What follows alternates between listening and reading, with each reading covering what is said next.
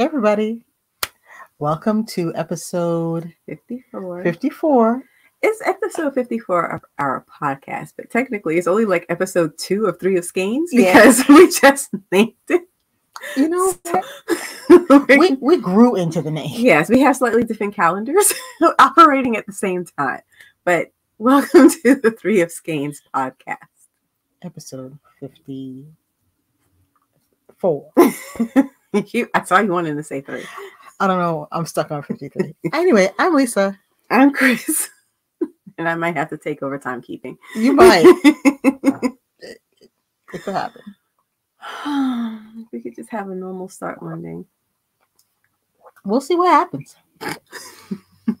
Fraser, there's always a chance. There's always a chance, Fraser. Would you like to go first today or shall I? Sure. I'm very warm right now. Yes. Because I'm wearing, so this is the Envy sweater. So if you don't know the story, last year I knew Lisa was making a Christmas sweater, but I did not know my mom was making a Christmas sweater. And I found out a week before Christmas, and I was like, well, you can't both have Christmas sweaters, and I don't have a Christmas sweater. So I made this sweater in a week. It's worth the wait. That's how that worked. Yes. so I slapped this together in a week, and I literally call it the Envy sweater because I was envious that they were going to have Christmas sweaters, and I would not. So I'm Mhm. wearing this. This is cotton, but it's it's you know a thick Oh, that's cotton. so- Cumulus. yeah, this is cumulus, cumulus, cumulus, and cumulus dappled. Um, so I'm wearing this, and it is quite warm. But then I also have my coat on my lap, and it, I'm actually quite cozy. I right know now. you I feel like I could sleep in this thing. but here she is. So here are my sleeves. I still have to. I'm gonna, you know, do some more on this. I thought I would finish it by today. I just didn't work on it the way I thought I was going to. It's like literally the biggest thing I've ever made, Mhm. and I feel like I'm just losing steam. But I'm, I'm gonna stick with it. I'm, I'm not gonna like. It's not gonna be a UFO. But I'm just being honest. It's just taking me a little while to get through these last steps.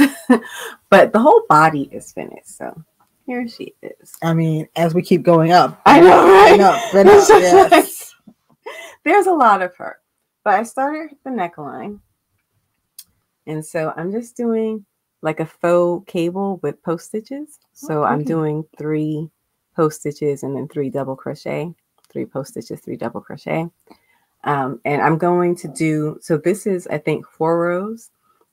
Well, I'm doing row single crochet in between, so technically it's eight rows. But I'm gonna basically just do another eight rows because this is about two inches, and I want my collar to be four inches because I think a big coat needs a big collar. Yeah. Do you want to be able to like turn it back or is it going to lay flat? I-?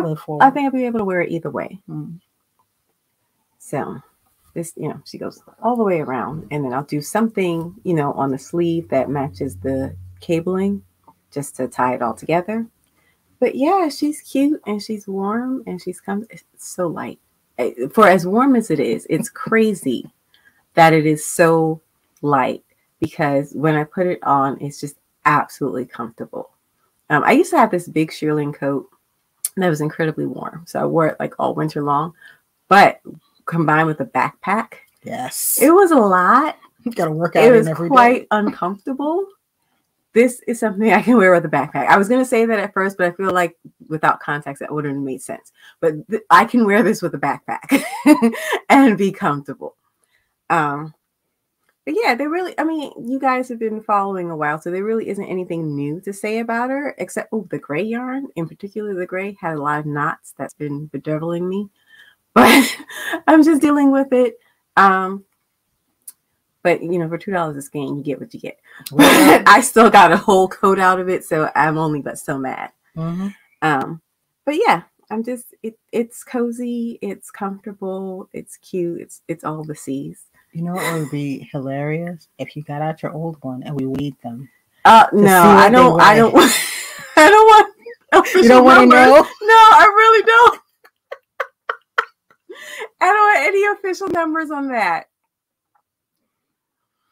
But I'm very happy with it. I'm like, I don't know. I'm just really happy with it. Now, how did you come to choose this particular pattern?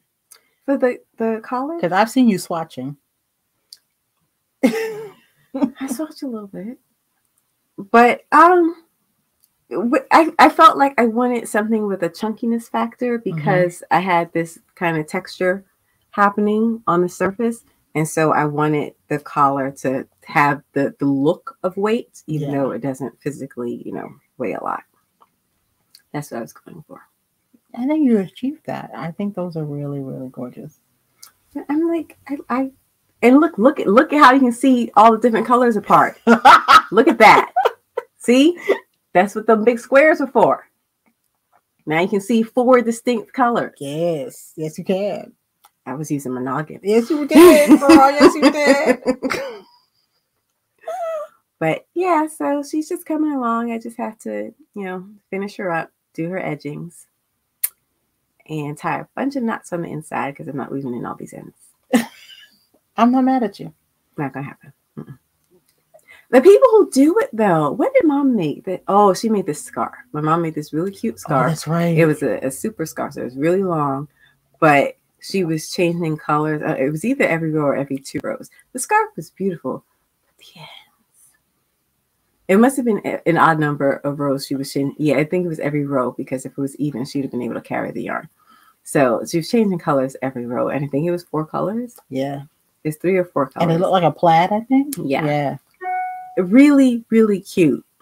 But she wove in all those ends, and that was a commitment. That was like a lifestyle choice. It was. like I am the person who weaves in these ends. Um, yeah, I couldn't. I could never. I could never. But it was a cute scarf, so I ain't weaving in all of these ends. You know what? If anybody looks inside and sees your knots, they deserve what they see. Okay. They don't belong up in there. right. So yeah, that's where I am. Just in the the last stages. Now, how?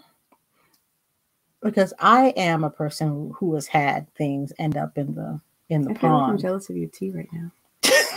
I feel like I should have made. I always make a cup of tea beforehand because my throat gets so dry. But um, how do you keep motivating yourself? Because I know sometimes I thrive on the excitement of getting something going. it's about wearing it. I So now have to. I like yourself. literally like sometimes I have an outfit in my head. So when I I made this sweater, I have yellow jeans that I knew were going to that I was going to pair with this sweater, and I had that outfit in my head as I was making. Um, it's it's about wearing it. I'm like it, there was no point to doing all of this if you're not gonna wear it. So just finish it. That's what keeps me Sometimes- motivated. the home stretch is the hard stretch. Yes. Yeah. Yeah. Wearing it has to be your motivation. That's why I don't get amigurumi. I mean, the, people are doing some really beautiful and cute stuff, but I could never stay motivated long enough to finish an amigurumi project because I don't have that pull. Like, oh, this is what I'm going to do with it when it's Mhm. done. So yeah, that, that's one of the reasons I make clothes because I it keeps me focused. It keeps me engaged with my project. Yeah. Although I have mad respect for amigurumi makers. There are some technicians, okay? There's this woman Technicians. she was on YouTube. I don't know if she still has a channel. It was Twinkie Chan, and she's also published some pattern books. She did this iPad cover Mhm. that looked like a TV dinner Oh, stop. with the trays and the compartments and the little foods in each one. Respect. okay. it was so cute. and I would never make that, but if I saw it like at someone's fair, I'd have bought one. I saw. You could have um, charged me a good amount of money. for Yeah. that. I saw a chess set that the person had designed to look like members of the royal family of Oh, England. God. And it looked like them. And I was like, I would never do this. I don't think I have I would have the skill to make actual little sculptural portraits of people and make it a chess set. Made the board too, by the way. So I got no hate for amigurumi. I just know I, I I'm not on that level. Mm-mm. Mm-mm. So, what are you in the final stretch of? Oh, well, I'm also in the home stretch. Now, it's a little crunched up on a needle right now, so it's going to be hard to see. But I have the entire front of my niece's vest on the needles now because I'm doing the um, button bands and neckline. So it's finished, it's sewn together already. I know it's a dark color. Oh, look at that. If I put it closer. I picked up the armholes over the course of the week. And now it has a right front and a left front. Yes, it has a right front and a left front. that That's a feature. in two different directions. And I took my smaller needle.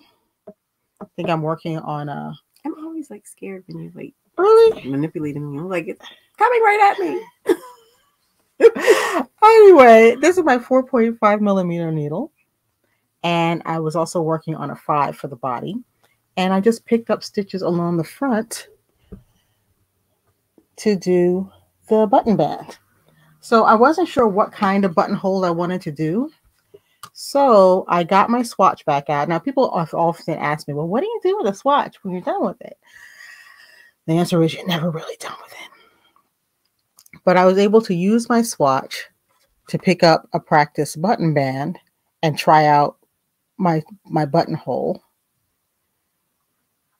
And I decided to go with what's called a narrow slit buttonhole, which is actually kind of fun because what you do is you do it's like a variation on the yarn over buttonhole, but you give it a little bit of structure because you do a left leaning and a right leaning decrease right into the same yarn over, and it kind of creates a little, I don't know, a little holder of stitches so that the buttonhole won't just completely stretch out, but it does have a nice amount of stretch to it.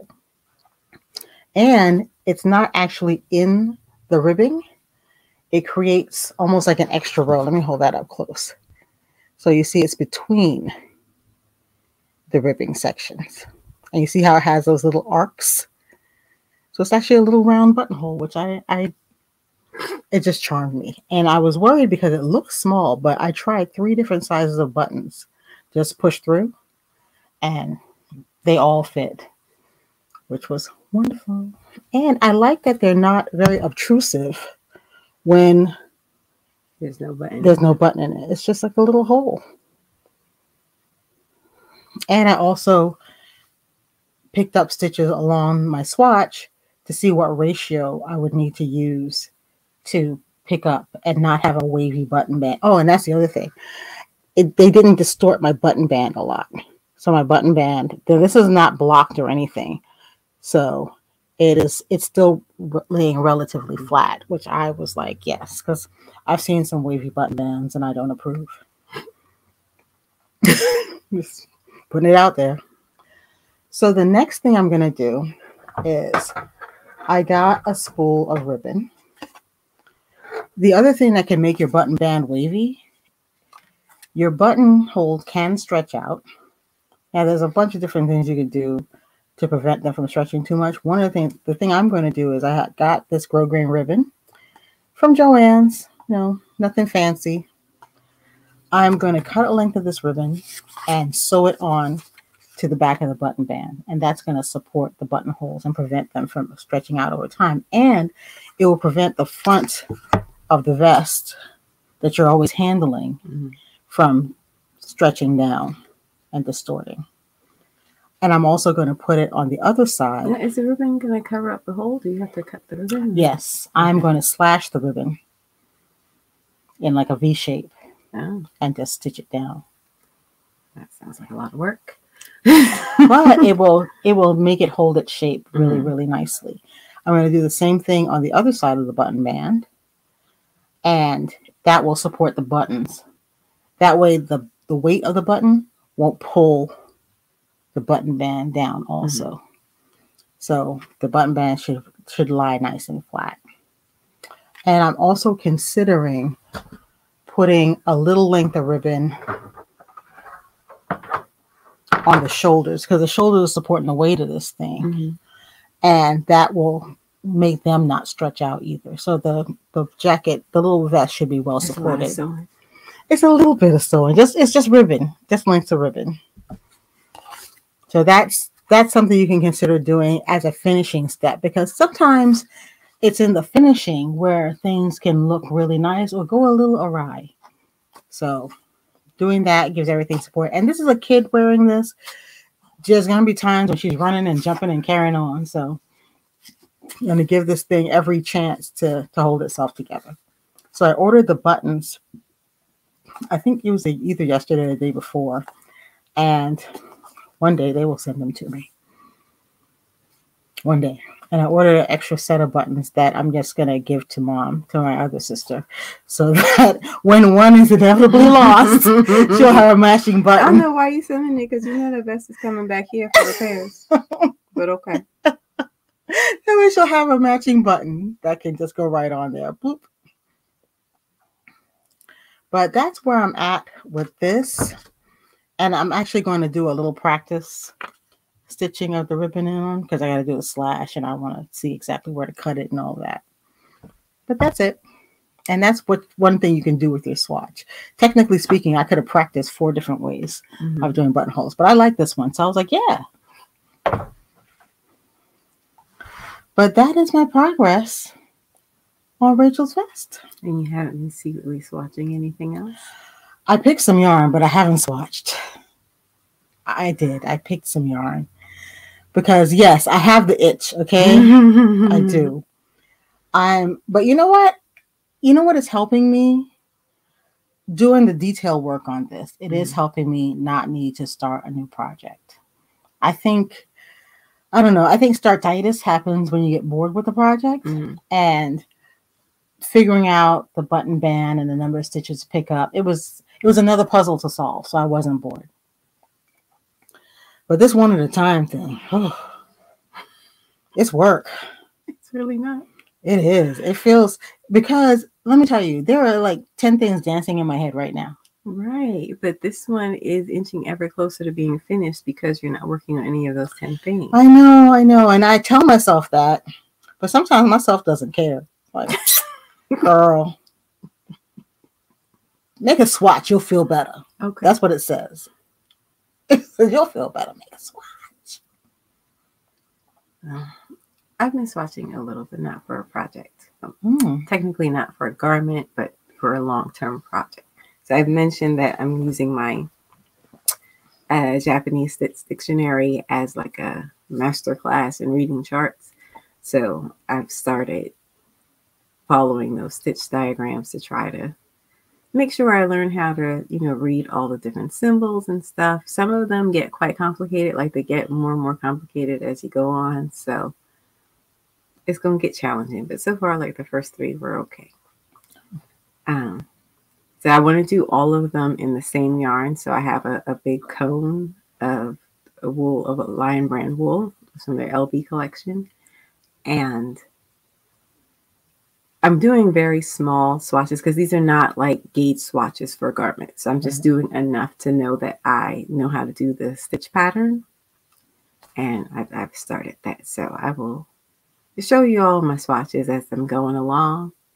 I have to iron them though. Have it on like a ring and they're they're curling up. So but I have a whole system for keeping them organized and everything and should work out. So it's there are 300 stitch patterns in that book. mm. The plan right now is to do them all, but I might be lying. Okay. That is a long term project, though. It is, it is. Now, But I, if I did one a day, it would take me less than a year. yeah, yeah. Don't don't don't think those thoughts, okay? Those thoughts will set you on a very bad path. Have you noticed any difference uh, in style or um, composition in those stitch patterns than ones you've done out of other stitch dictionaries? What I will say is that I've noticed in this book, they Oh, use what's the name of the book? oh, I think it's just called something crochet patterns 300 or something like that.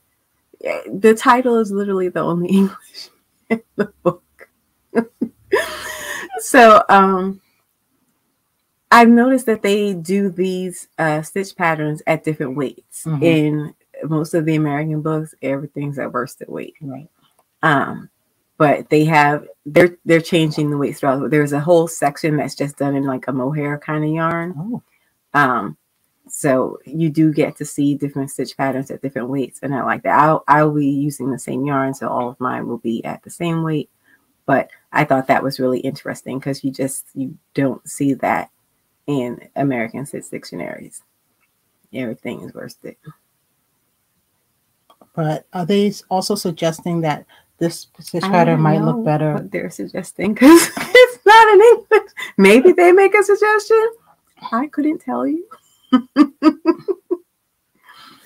but um yeah, so I don't know. I, I'm assuming that, you know, the yarn that they use for a given stitch pattern is like, oh, you know, this would be a good yarn for this stitch pattern. Yeah. Like a lot of the the lacy patterns are in the mohair. yeah. Makes sense. Um, but I'll, I'll be using it's I'm using a fingering weight wool, a virgin wool. So that's all of mine are going to be in that. no, that's no problem. I don't think that's a problem at all. what about uh knitting dictionaries? Do they tend to use They tend to use the same yarn all throughout the book? all throughout the book. Yeah. I have several, and they seem like they pick a yarn, and that's what they use. Mhm. The only complaint I've had with some of my um dictionaries is the color yarn they chose was not the best choice for some textured pattern. And I wish that they would at least change the color depending on what you need to see because some are the Mhm. patterning is hard to see. Well, that's what's going on in my stitching life at the moment. Terribly exciting things, right? I think it's pretty exciting that you chose a stitch dictionary in a language you don't speak or read, and you decided to work from it. That that's pretty dang exciting. We will see how this Okay. goes. I got my Japanese dictionary in translation. Yeah. that might have been the thing to do. I don't know. so I I think that's that's pretty exciting. I can't wait till you show us some of your swatches. That that should be amazing to see. it's very hard to crochet like this, okay? Okay. Oh, you know what? I'm going to do a quick announcement. I have a class coming up. It is called the Maker Studio, and it is really a project class where we bring a project and we work on it together to bring it into fruition. So it can be a project you've already started and kind of got stuck, or something that it demands that you expand your skills and you'd like some guidance. I do have a blog post up about it. I will post a link to it in the description bar. Anyway, this message was sponsored by A Knit Sheep. I always wanted to say that. That's so fun. I'm making dreams come true over here. I mean, tiny dreams, tiny dreams. So, what else do we have to talk about today? What we've been watching on TV?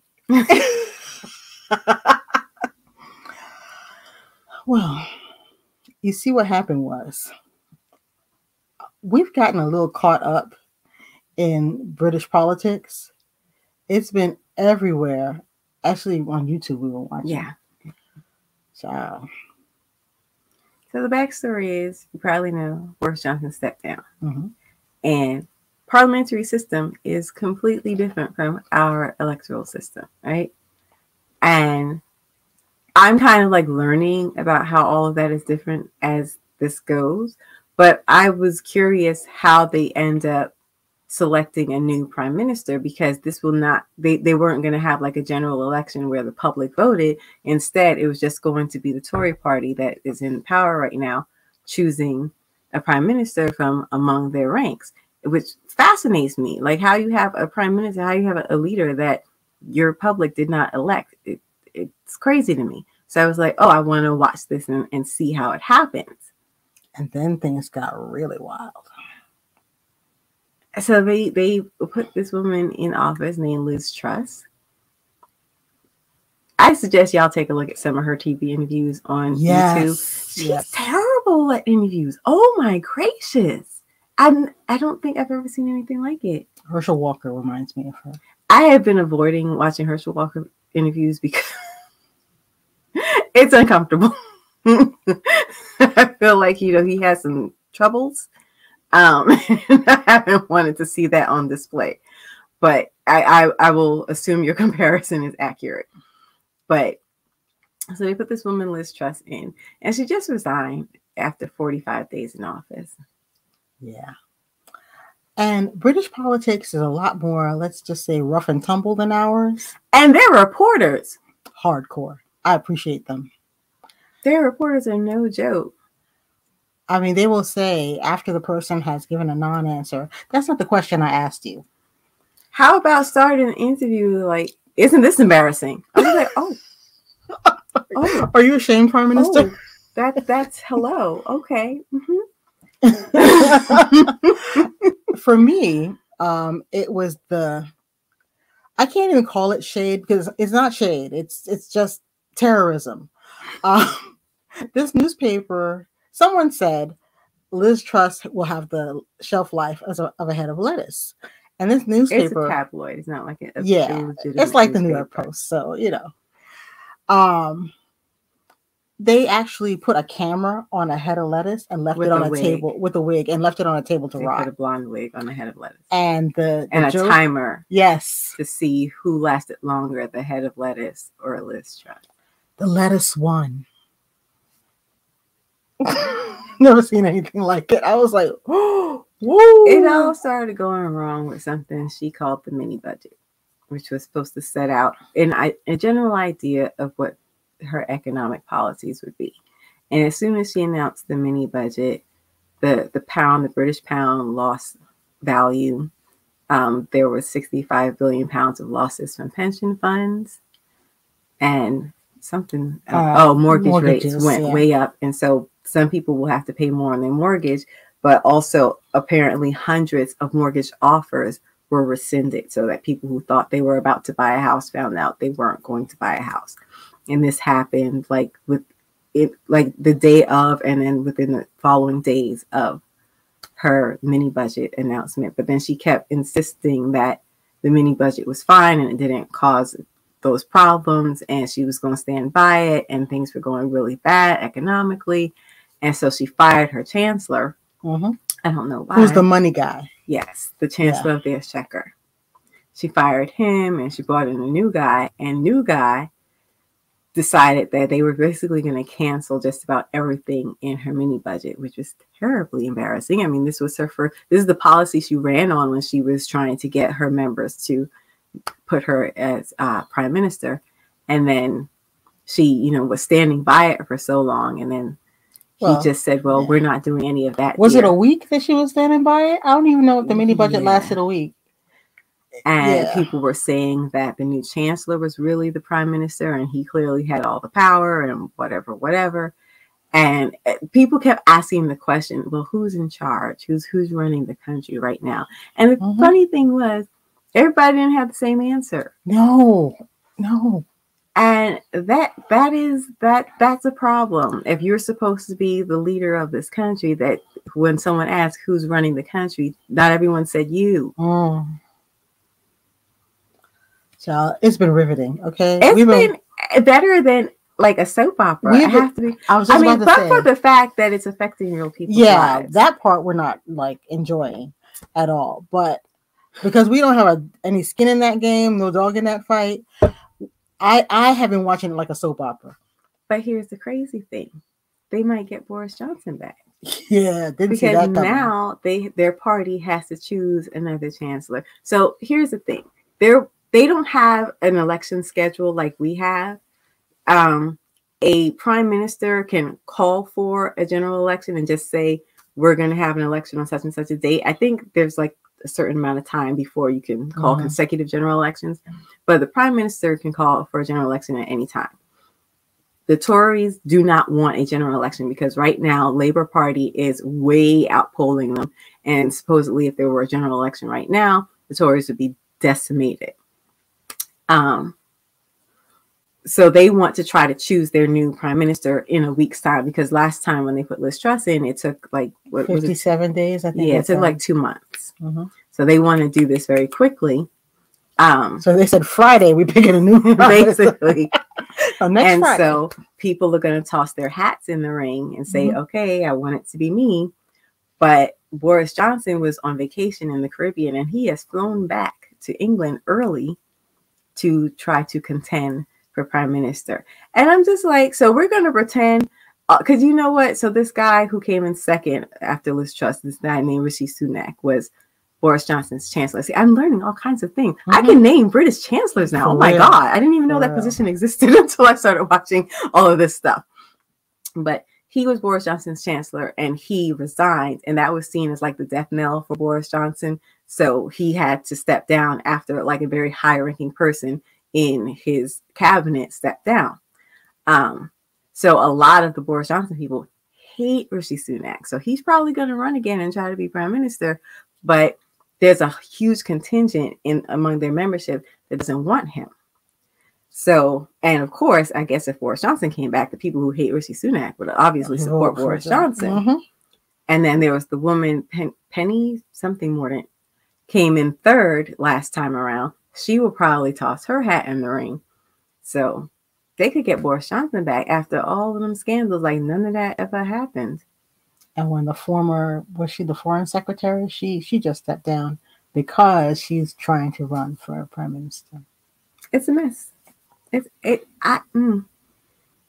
And they also it's a mess in a different way from our politics, Yes. but it's still a big it's mess. still a mess. Okay. It kind of it's like you realize that things are not set in stone the way you think they might be. They're not. Certainly, the prime is. minister in England, Nothing. your is. tenure is not set in stone. You could be outlived by lettuce. Yes. Oh, there was also a tofu.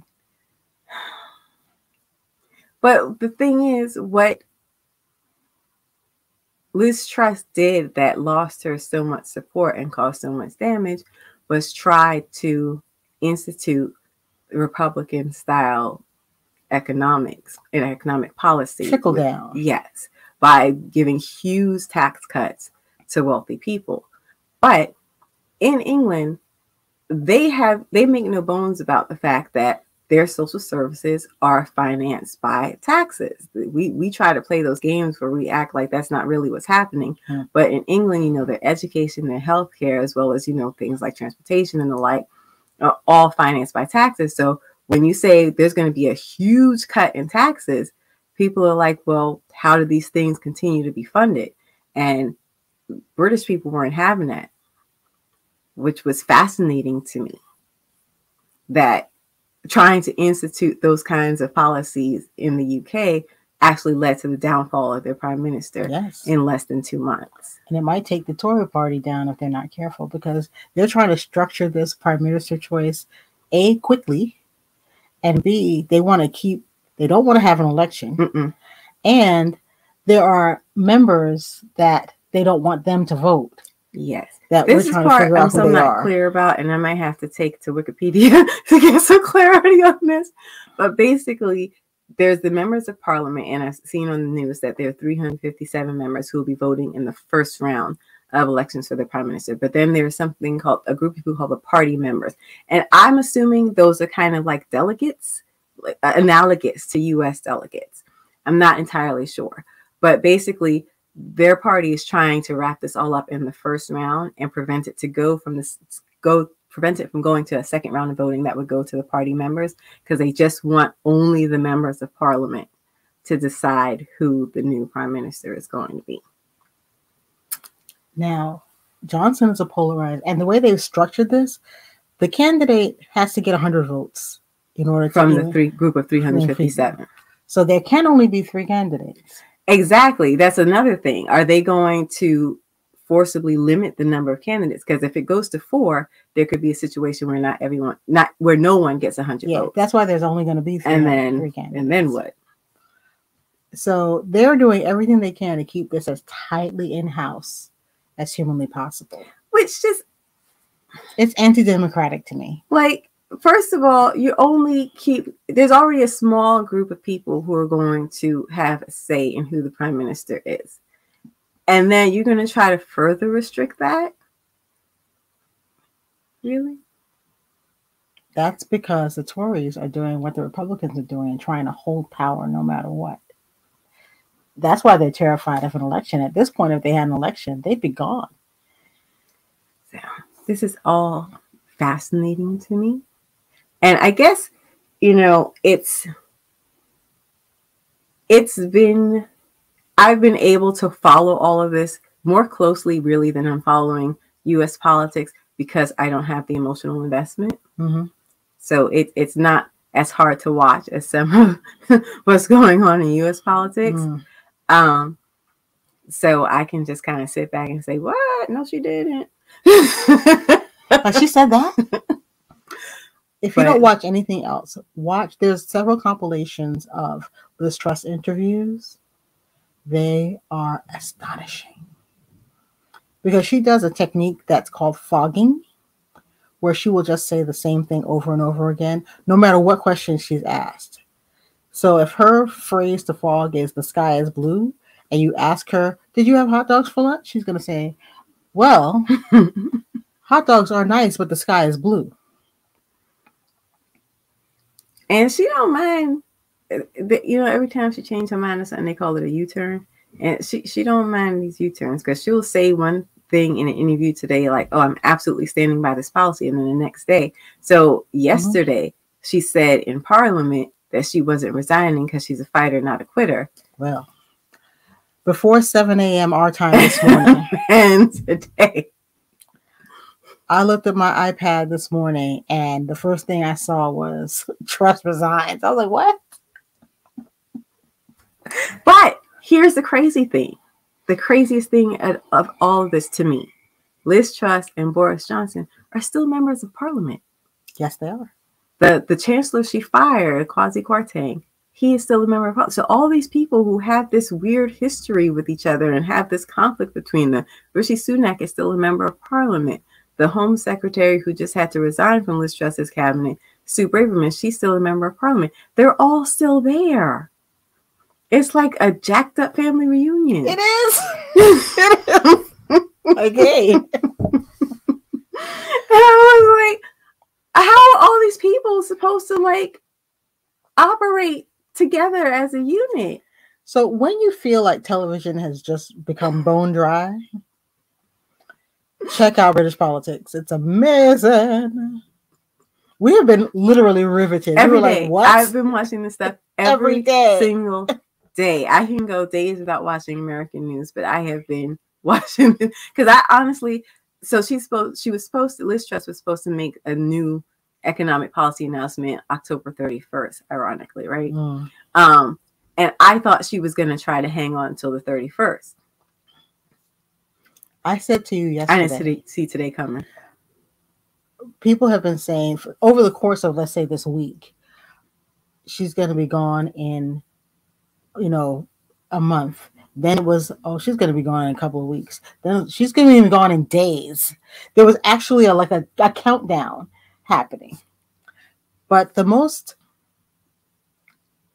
titillating detail for me was that apparently yesterday there was some sort of vote that was supposed to take place on was It it was fracking. fracking. It was Apparently, fracking. Labor was trying to get some sort of anti-fracking vote, and some members of the Tory party were going to vote with Labor, and the Tory leadership did not want that.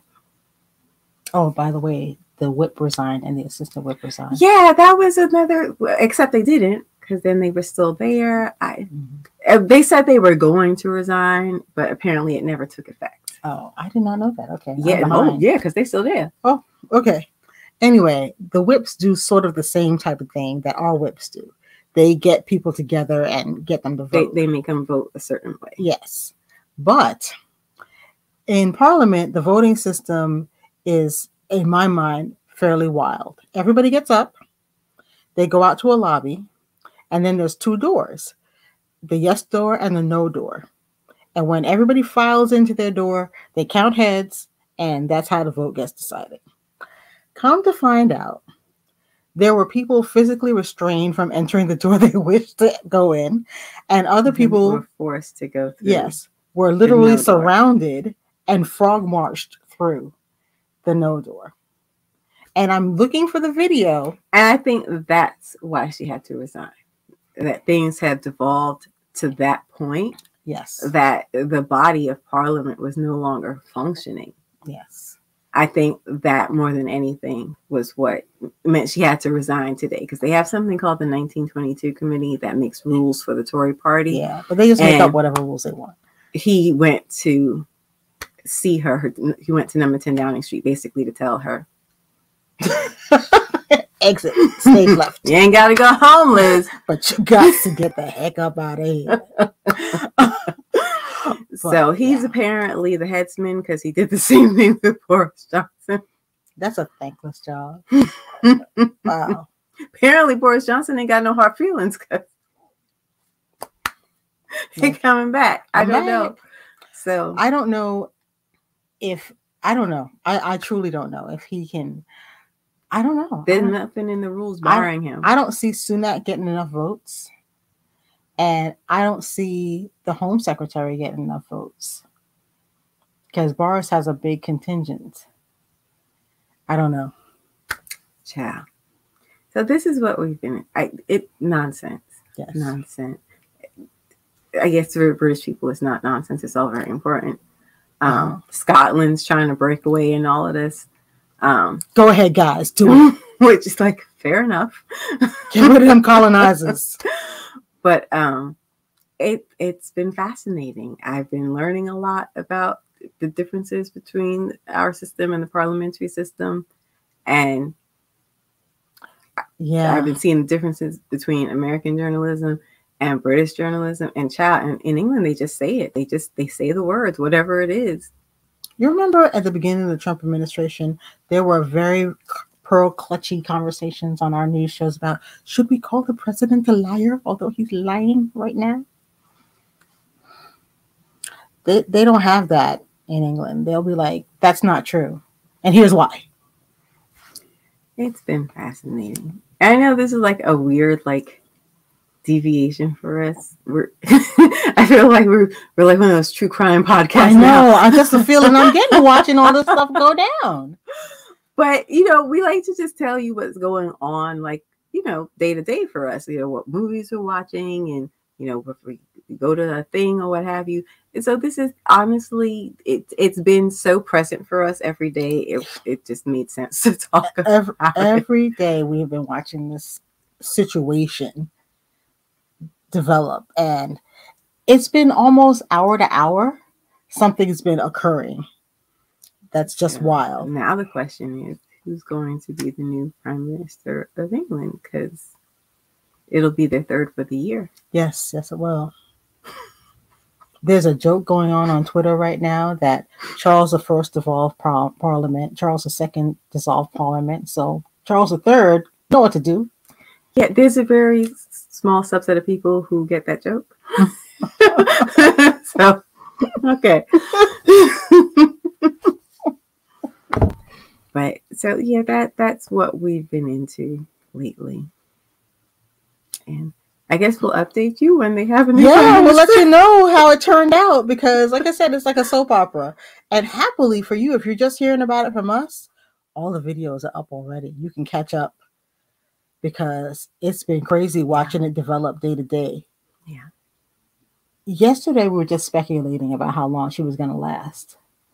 I thought she'd outlast the lettuce. I mean, I didn't. I was like, oh no, this is go. I saw the timer ticking down. That's embarrassing. And that's the other thing. We were astonished at the audacity because it has been very a very difficult time for Liz Truss, okay? Not only have people literally been just talking about her incompetence, and she has nothing to say to that except, you know, the sky is blue or whatever her point was for that day. But little things like there was a bunch of protesters outside and they were complaining about the various policies. And then someone said, and you're you're wearing shit shoes. I mean, so down to her shoes. and then she said that Margaret Thatcher line, this lady is not returning. And then within 24 hours, yeah. she reversed everything she said. yeah. So There, there's other little details, but I'm sure y'all are already bored. yeah. But there, there's some of you who are probably like, "What is that really going on?" So yeah, check it out. Yeah. it's it's been been fascinating. something. and we will reconvene when the UK has a new prime minister, Indeed. and we'll see if that one makes it to the end of the year. They could squeeze in a fourth one. I'm sure they could do several more. Okay, I'm sure they could do several more because if they average what 40 days, The That- head of labor said to- in the Tory party, everyone gets to be prime minister for 15 minutes. he might not be wrong. you may not be wrong. Anyway, I think that's it for me Yeah. for today. Mhm. so Mhm. that's our soap opera. If you want to take part, enjoy it. Play it out all on YouTube. Mom's gonna be tripping when she sees this. I know. I know. like, what are you talking about? Anyway, thank you for joining us. If you have any questions about what we've been up to or any questions about the soap opera, let us know in the comments. Oh, by the way, what's your favorite soap opera? You know what ours is now. Stay stitching. Toots.